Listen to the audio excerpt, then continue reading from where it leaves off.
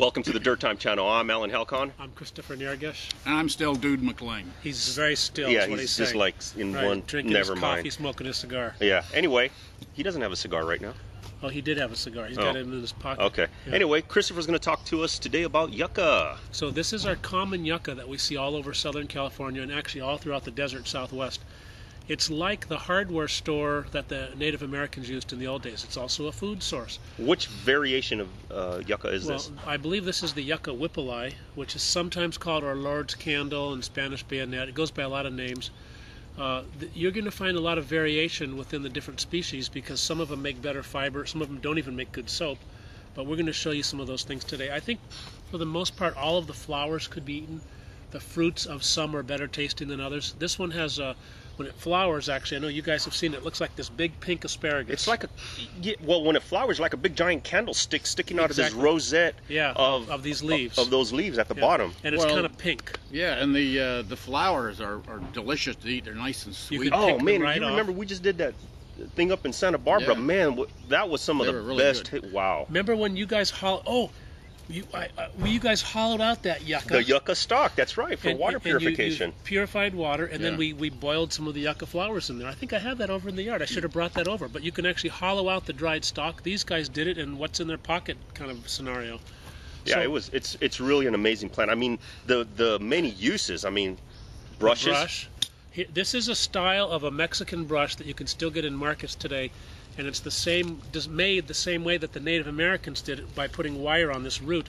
So what Alan has in his hand is a, a larger brush that would have been used for cleaning rocks that were used for cooking or cleaning one's home. They're very easy to make. You use it for uh, pots and pans, right? I, I use it for uh, my um, Dutch ovens and so on. Yeah. it And- works really well. And basically, all this is, is the leaves just folded up, folded in half, and you twist them around, and Well, in, in, in essence, there's a little Right. more to it than that, but basically that's what there's what's involved.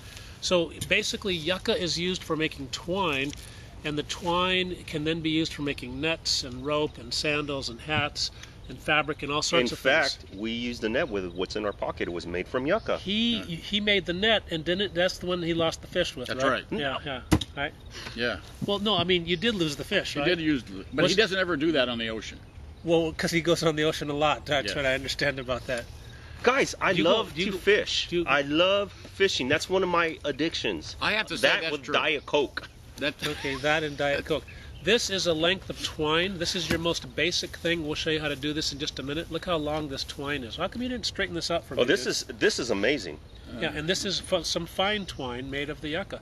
Now, here is a sling, so you can see some of the possible uses of having twine. This is a rabbit skin sling, like people would have used in the old days. The uh, the twine could also be used to make nets, fish nets, um, uh, carrying bags. This I want to show you. This is pretty awesome. This is actually agave, which is a related plant. It's not. It's the large blue leaf, and they they uh, let the leaves rot and take out the fiber, and then they make this in a loom in Mexico. They also make tequila out of agave This is true. They make tequila out of I agave know. too. Yeah, yeah. because Well- I see dude drink it all the time. Is that true, dude? oh, all the time. Okay. Yeah, Um, actually, agave has a lot of the same uses as yucca. You can actually peel the skin off of the leaf and get a paper, which is Mhm. incredibly unique. The problem with it is that when you touch the exposed leaf, you can get a rash like poison oak right away. So I generally Some don't bother people. with it. Most people. Some people. people.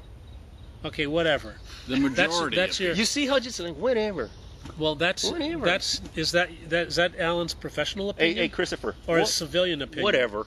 Okay, so look at that fabric. People used to wear clothes like this in the old days.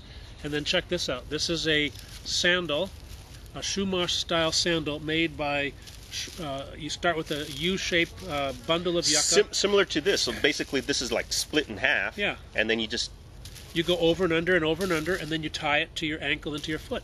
So this is one style of footwear made with yucca. This one is actually pretty interesting. This is the Mogollon sandal. You guys know who the Mogollon people are? Yes. the people that made that sandal. Does he get by his whole life this way? Yes. I don't. All I need is to have you around. The, the Mogollon were one of the extinct uh, groups down in the southwest uh, near Arizona, New Mexico. but in the caves, you find this kind of sta- sandal. It's four leaves. Oh, and there's a, this is actually a really interesting story Yeah, yeah. about. I, how it was figured out by Paul Campbell. Well, Paul Campbell said that he studied images of these in museums, and he finally figured out how the weave. It's called a plate, P-L-A-I-T. He shows it in his book, Outdoor Sur- uh, Survival Skills in right Native. California. I highly recommend that you get a copy and have Paul sign it. Now, um, if you get it on my website, though, I would make money and Paul wouldn't. Well, no, get it from Paul. That's better. That's better. So this is the Mogollon You're always sandal. out trying to make a buck, huh? trying to. I, it's not working. Exploiting everyone. It's not working though, folks.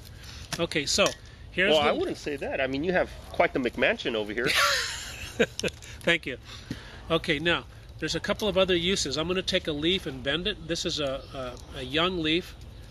Well, well, is- talk about that real quick. Now, there's a lot of people out there that when they want to process and strip down the fibers, what you're showing right now is a field expedient way to separate the fibers. right. A lot of people, they'll take a rock, they'll mash it out and separate the fibers as finely as possible. And basically, what you did is you took this, worked, pinched it between your fingers, and just started Just working start it up working and it, down. yeah. And that Now- that causes a separation right in the middle. Right. From And- there, you start to strip. Then you start shredding it and stripping it, and and actually.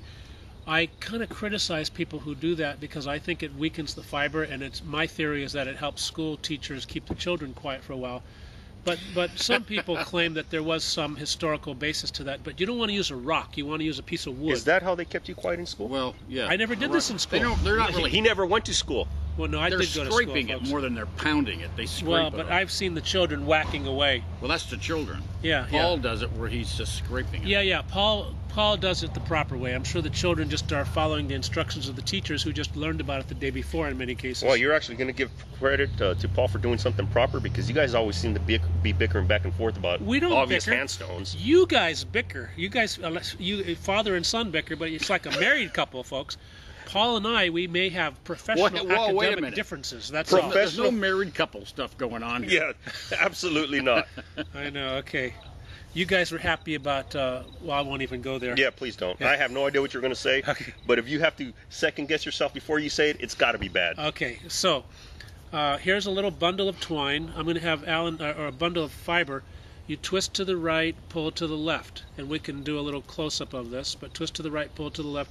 The reverse what you're friction, you're you're twisting the right the individual side, groups. the individual groups. It's in two parts. I'm twisting one outward and pulling it back to the uh, to the other side. Now we'll demonstrate all this at dirt time. So you those of twist who to the come- right and then you reverse wrap to the left everything. Correct. Twist to, just like your old high school dance. Twist to the right, pull to the left. You do it Twist to once, the right, got it. It's left. very redundant.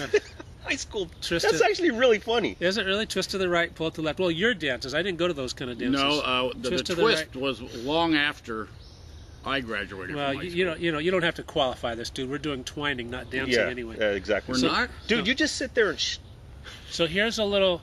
Again, This, this is what the goal is to have something fine like this. Now, this doesn't look that great. We did it in a hurry, uh, but it, it still is a very strong fiber.